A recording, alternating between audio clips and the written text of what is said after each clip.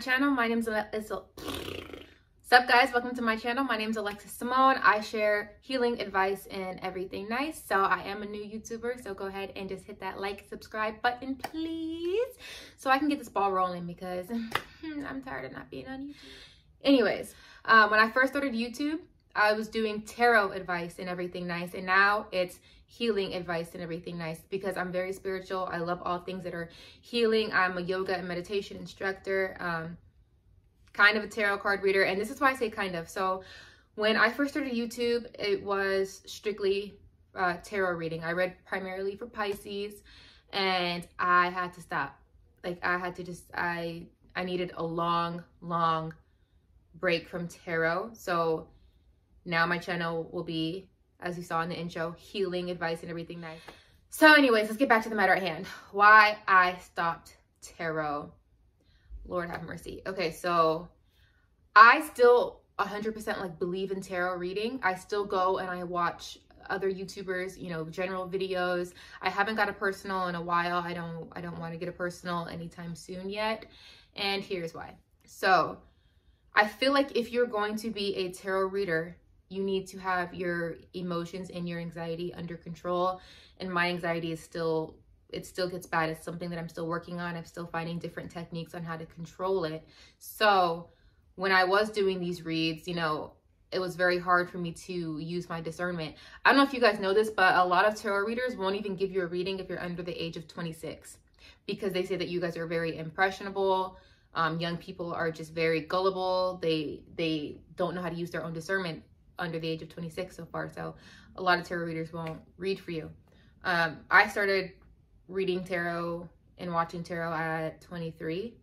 Mm-hmm, 23. So that that's a little young. I was still personable and stuff. So I was having trouble using my discernment.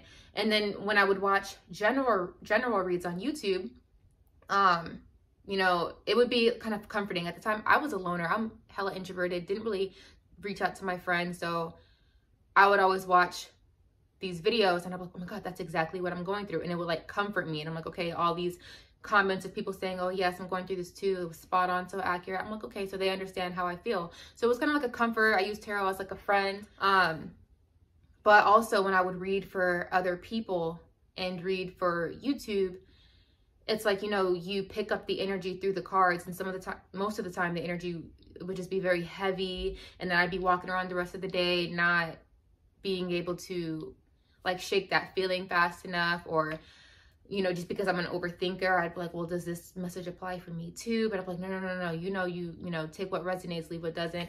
If it don't apply let it fly. There's millions of your sign. So if you hear a general reading you got to understand like it's it's possibly not for me. But i was getting so obsessed with it that i was having trouble you know disassociating the two that makes sense um, so basically, I would go to my cards for everything. After I would do a general on YouTube and everything, if I had a question, I wouldn't make a single move without consulting my tarot cards. Not a single move. Even if it says, oh, should I leave my job and accept this new job opportunity? Even if I know, like, I don't really want that job opportunity, I'd be like, let me see what spirit has to say, you know? And it's, it was just getting too much to where I I felt like I wasn't standing on my own two feet anymore. I don't know if other tarot readers have the same issues, but I like my cards, I would go to them for answers for like every single thing.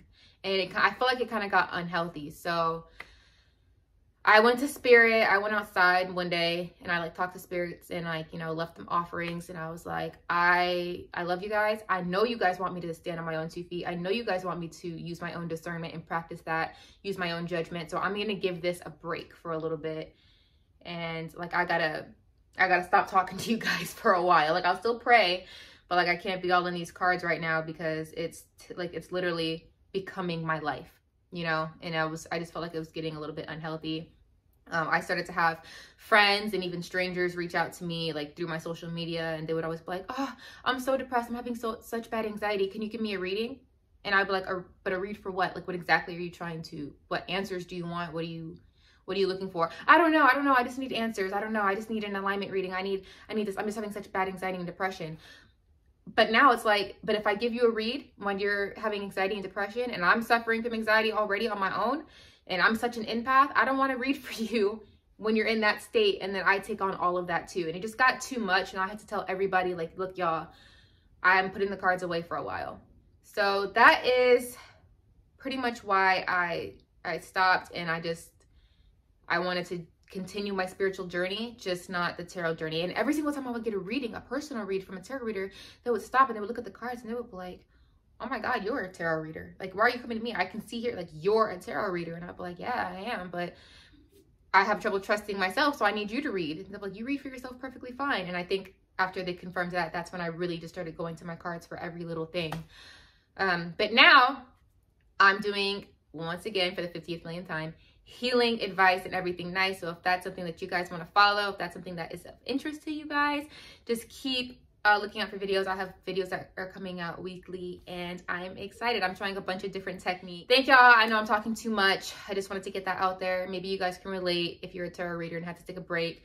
Maybe if you're a Pisces, because I heard a lot of Pisces in 2021 were moving away from uh, spirituality just a little bit. So thank y'all for watching my channel and y'all have a nice day. I need to practice my outros for real.